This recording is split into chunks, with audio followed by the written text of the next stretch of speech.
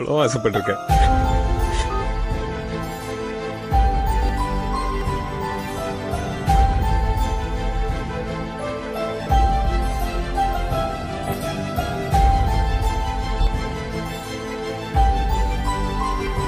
எல்லாம் கிடைச்சிருச்சா